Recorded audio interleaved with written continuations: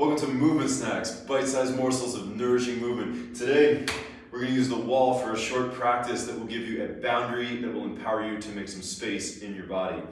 Start with your feet hips width distance apart. And the way to do that and improve proprioception is by turning one foot in so that your big toe just barely touches the heel of the other foot. Avoid the temptation to look down. Keep your eyes ahead, head above water, and hold a high vision. Pivot that foot out, and then bring the other foot in so that you just barely touch the heel of that foot. And there, not only do you have a new dance move for the weekend, but you know what your hips width distance are. Inhale, open up your arms. Exhale, give yourself a hug right under left and then keeping your hips stable and square, round forward just in the spine. So this is going to be a controlled articular rotation of the thoracic spine. Pause here, that's corner one. Take your right shoulder to your right hip. Pause there. Start to turn to the right, but come up to center, aligning your crown over your base so that your hips are still square and you're isolating the twist and then go up to the center without overlifting your elbows and chin. So pull your lower ribs down, but glide your chin back. So you feel an arch in your upper back. And then turn left, and as you turn left, push the floor forward with your left foot and pull it back with your right foot. So that again, you're right in the center of the twist like a DNA double helix. Take your left shoulder to your left hip, feel that nice lateral flexion, stretch up the side of your back, and then again round forward, right shoulder to right hip a little more fluidly this time. Stand tall in the center and pull your left ribs down as you press your elbows together to twist more to the right. Come up towards the ceiling, tailbone down, low ribs down, so we're isolating the upper back. Turn to the left, left shoulder to left hip, round forward. Good, inhale, open your arms. Exhale, left under right. So you probably already feel a little bit better just from mobilizing your spine a little bit. Round forward without your hips going back. So that's how we isolate the rounding of the spine and then left shoulder to left hip. Turn to the left, but pull your left hip forward by using your feet like rudders to steer your hull. Nice, up to the ceiling. You can think of your upper body as your sails. Turn to the right, right shoulder to right hip, round forward, and then one more rotation, left shoulder to left hip. Turn to the left, but square yourself. Chin goes back so you can feel activation across your upper back. Turn to the right, right shoulder to right hip, round forward, good, open your arms again, interlace your fingers under your chin. Now inhale, lift your chest and your chin. Exhale, grip the floor with your toes, start to stick your butt out and move your knees forward so you fold from the hips. And keep the arch in your back, even search a little bit for that feeling of upper back arch you had in the previous drill. And then lean more forward, hips up, eyes forward. Lift your hips, keep contact between your body and your legs because good contact is a conversation that you have with yourself throughout your practice. Inhale and peel your body off your legs, leading with your potential, the front of your body. Exhale, bend your knees, go right back down, but fight the monkey on your back until he slides off. In other words, come forward with your front body so you can hinge from your hips. And even as you lift your hips, think that your knees move forward so you fold in the center of yourself. Inhale, come on back up again. Open up your arms, and this time interlace your hands behind your back. So you make a third hand, an implicit hand. Explicit is left and right, implicit is center. It's the part of you that's crucial, but that nobody can really see from the outside. Fold onto your legs, reach your elbows outwards, lean forward, lift your hips up, and back bend over your hands. Inhale, come on back up, leading again with your front, and then bend your knees and the front of you is still imaged as the future, as your potential, so come out towards the future and then lift your hips and fold forward. Inhale, come back up one more time. Nice, release your hands. Now, place your left hand on the wall and step close enough to the wall that you can put your right foot on the wall with a little bend in your left knee. Find a position, this hand is for balance, that allows you to get a tuck in your tailbone so you start to feel a stretch and opening in the front of this hip and you should immediately feel activation in your right butt muscles. But the key is really to get that strong tuck so your lower back is straight. Now, with each exhale, you're gonna push into the wall with your heel and drive your tailbone forward. And if you wanna intensify it, you can bend deeper and tuck more. So let's take three breaths here to find the position. I'm a little bit pulling with this hand to keep this shoulder down, but I'm not really worried about balance. This hand is really to help me find hip extension on this side. You should feel a lot of ramping up in your hip. And then bring your right arm up. Nice. This hand can drop down. wrap your right shoulder, which means roll your tricep towards your face, lift your chin, and as you exhale and pull your tailbone down, pull your low belly in and your front ribs down, and side bend. And what this will do is by combining hip extension, your hips coming forward, you get that structure and stability and strength underneath you, the trinity of the first floor, and then you can really lean into your fluency, your flexibility in the top floor. So feel for a really nice stretch up the right side of your lower back, straighten this top arm, lift your chin a little bit. You can now take your hand on your head and lean back luxuriously into the stretch and pull your front ribs down, but glide your chin back. Keep your legs alive and lean over to the left. Inhale to come up. Step your feet side by side again. Now, right hand comes onto the wall. Bend your um, right knee just a little bit. This foot doesn't have to be too high. Just about a 90 degree angle is good. And then pull with your right hand, bend your left knee, and take a few breaths just to find the position of the pelvis. So it's um, what you can do also is touch your lower back. And if you feel that the lower back muscles are really like sharply engaged, then you need to regress the angle a little bit, maybe bring your knee lower so that um, you can find this tucked position where you feel your butt engage and the front of your hip stretch without the feeling of low back um, tightening. So pull on the wall with your hand, tuck your tailbone and drive into the wall with your heel, posture up, so head always above water because when your first floor comes forward, then you can lift your vision. So the um, bottom of the boat, right, the sails, and then the bird's nest. And then you can sweep your left arm up, but the key here really is to stay in your legs. Wrap your left shoulder so your armpit is hollow, and then lift your chin so that your armpit comes towards your chin instead of your chin tucking down into your armpit. So just think that you're out at sea and you're looking all the way to the horizon. And then very slightly move your knees towards each other and press in the wall with your left heel, pull your belly in, reach through your top arm. Should feel nice at the side of your back. Keep the scapula of your right arm active, hand behind your head to support. And then with each exhale, tuck your tailbone. With each inhale, telescope your ribs out of your waist. You can see my ribs move. And on the exhale, pull your ribs down, press into the wall with your foot. Nice. Good, and then just step down, feet apart again, hips width, and fold forward from the waist. Crawl yourself out until you've got the balls of your feet on the floor and your heels on the wall in a downward facing dog. And step your right foot all the way to your right hand. Place your back knee on the floor with the ball of your foot still touching the floor and the heel of your foot touching the wall. And then just come up, pushing the floor apart, and bring your arms up into a V. And you should have a little more awareness of that left side hip, the, the butt of that leg working to extend your hip. So as you drive your heel into the wall, drive your tailbone forward so you feel a nice stretch up the front of your hip. And then we're gonna side bend this one too. So put your right hand on your lower back and just lean over to the right. But think of it like as an up and over so that you really make space for that low back to work. And you could probably feel also your hand on your hip and notice when your butt sort of gives up. And keep pressing into the wall. Same thing here, hand behind your head, lift up through the elbow, and then pull your right, uh, your left lower ribs down so that there's more stretch. Think of it as an arcing reach to lengthen your back. Nice, you can just come down, keep your hand behind your head, step back a little bit, stand up, lift your chest, arch your back. Now you're kind of allowed to back bend into the basket of your hands.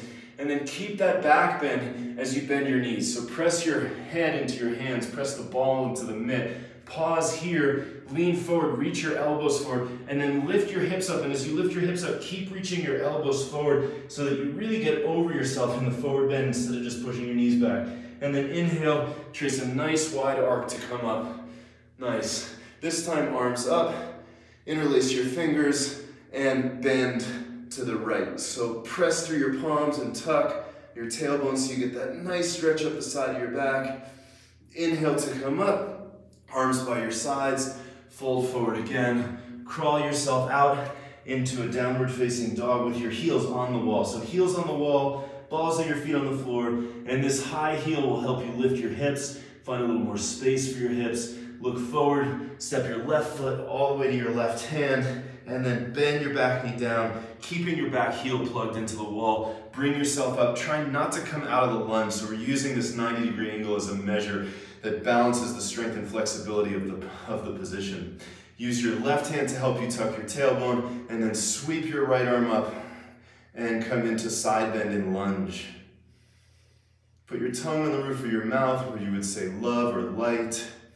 So the beauty of the pose is really, the beauty of the sort of duration of the postures is that once you, you set up conditions, you do all the doing, you do all the work, then you get to be in the being. And that's when you lift your perineum to connect your first floor and your second floor. You lift your tongue on the roof of your palate to connect your second floor and your third floor. And that's how you become a well-integrated whole.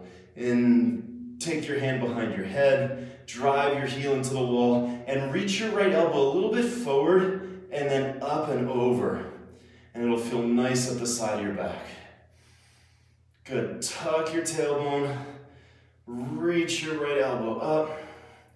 Reach your right elbow over. Nice. Both hands behind your head. Stand. Step your feet back together. Inhale to lift your chest. Good, so a little arch back into the web of your hands, and then bend your knees just like we did before. Pause here, elbows and heart forward. Exhale, hips up, over yourself. Inhale, come on back up. Nice, and then interlace your fingers, strong tuck in your tailbone and bend to the left. Try to keep your arms straight and feel for the line of energy from the balls of your feet to the index knuckles of your hands. So the index knuckles of your hands and the balls of your feet represent your lungs because they're buoyant and robust. So by pressing down with the balls of your feet, you can lift your lungs. By reaching through your index fingers, you open your sails and um, really allow good uh, breath to come in. Inhale to come up, bring your arms down by your sides. Good, and then hands at your hips, fold forward again. Crawl yourself back into downward facing dog with your heels on the wall. Push the floor down with the balls of your feet. Press your heels into the wall to stick your butt up a little more and then close your ribs as a counterbalance. Look forward and pull inwards with your hands and that'll place your shoulders nicely. And then just to check your measure, which will be relevant for the next pose, come forward into plank pose, let your heels come off the wall, and then back to downward dog. Look forward, step your right foot all the way in with your right hand, and then take your left foot and put it right up on the wall in line with your hip. From there, take your um, left fingers and crawl them forward in front of you, and take your right hand onto your knee. So I want you to throw your knee into your hand and pull your heart forward to move your right hip back. So really the two legs are like in the same line. And then from there, we're gonna take a twist. So look forward, look around the clock, turn your head, and then bring your arm up. And the way to find your balance is to move back through your heel and forward with your knee. And you'll feel that that diagonal cross reference of the back heel to the front knee will make space in your left lower back. So use your hand, the left hand on the floor, to pull you a little bit towards your leg, and then use your top arm, wrap the shoulders so your palm faces forward, and lean back into the twist. So this is a little bit demanding, but it's worth it. It's demanding in the front hip, press through your heel. Nice, and then you can reach up and over with your top arm if you like. You could even cradle your brain like we did in those other poses and arc into that nice stretch. Good, twist it, reach back through your elbow, and then bring your hands down outside your foot. And just step back, one, two, into downward facing dog. Look forward, left foot all the way to left hand. Right foot now goes up on the wall. Press into the wall with your right foot. And pull your left hand against your knee with your fingers forward in the center, right in the center of yourself to really pull you forward. Nice. And then from there, turn your head by looking in front of you. Imagine you're looking at a clock face in front of you. That'll really save your neck. Good. And then you can bring your left arm up and drive into the wall with your right heel. So it references that first pose that we did when you were pressing your heel into the wall, standing. So now press your heel into the wall and see how that just lengthens out my lower back. So I'm using my right sitting bone to my right heel to lengthen my low back. And then pull with your right hand, so you pull yourself into the twist, and think that in this pose that your heart on the left goes up and over in a pop-up to two o'clock, which is the drishti of joy. You can extend the top arm if you don't lose the twist. Nice. You can cradle your brain behind your head to turn your heart and lean back into the twist. And then hands down, step back into that dog on the wall, and then just walk your hands back towards your feet and bring your feet a little forward until you can put your hips on the wall and you can hang right over your legs, giving yourself a nice hug of the elbows. Lean forward, slide your butt up. And in the magic square, the center of your upper body, your heart center is room five. So five is the middle and the mediator of all of the polarities. So the center of your feet in the magic square is also a five. So I'll magic square the feet and then we'll get into why that's relevant. So for one, bring your weight to your center of your heels. Two, go to the balls of your feet. Three, go over the top of your feet to the center of the outer edge of your foot. And then keep your knees bent. Four, go up to your pinky toe knuckle. And then five, here's the polarity. Go to the center of your arches and lift. And then imagine a line from the center of your arches one to the other. And then take that center of that line right up to your perineum which is room five when you magic square the pelvis. And then go back down to the center between your feet and go to room six of the feet, which is the inner edge of the heels. Nice, go up to the inside of the arch for seven, and then eight, go over the top of your foot to the outer edge of the heel, the laundry room of the foot, when the body is imaged as a house. And then nine, go up in between big and second toe. And 10, circle up your feet, lift your hips. So you are always in the center of your circumstances. You are the mediator, the meditator, the modulator. So from the center of your arches, draw a line, and then find the center of that line and go up to your perineum, and then find the center of your upper body and bring your heart forward.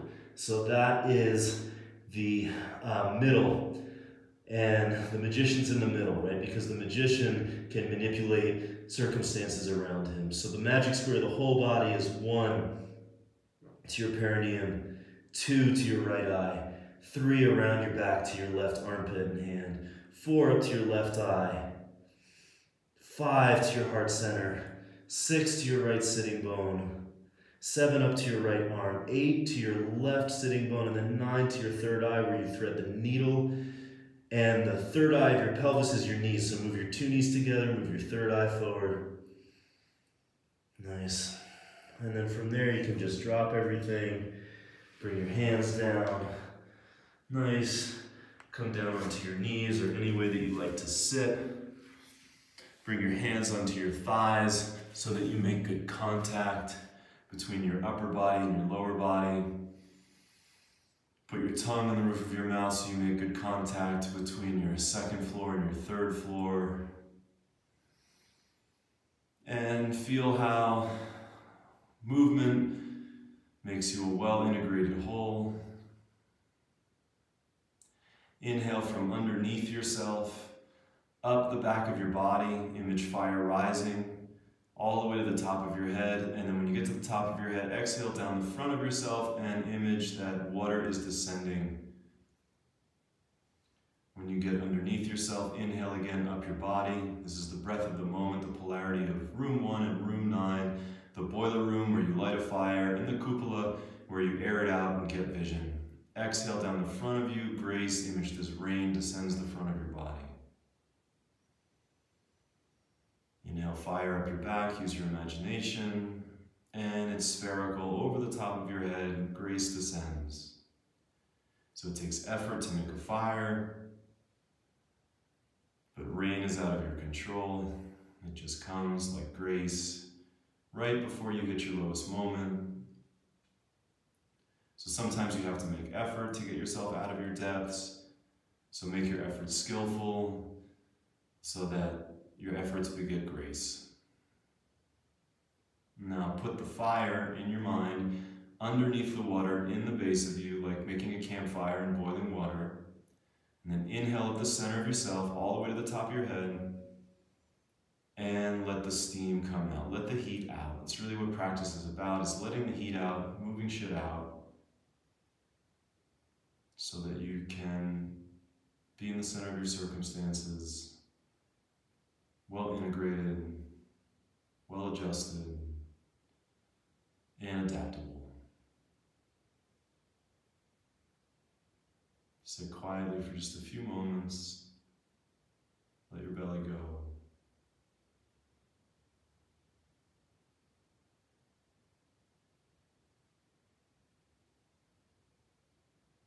Put a little smile in each eye. Put a little tiny smile on each armpit.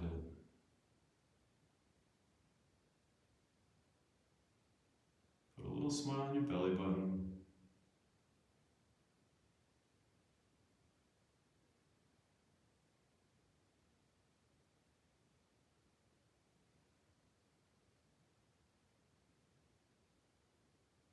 Notice how it feels nice to have quiet, silky breathing.